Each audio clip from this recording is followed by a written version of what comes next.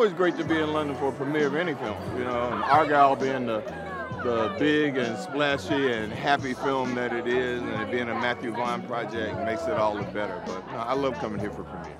It's a big story that deserves a big viewing, there are big things happening in it, and if you stay and you wait to watch it on the small screen, you're gonna miss a lot. So see it on the big screen if you have a chance. Oh, process? I don't have one.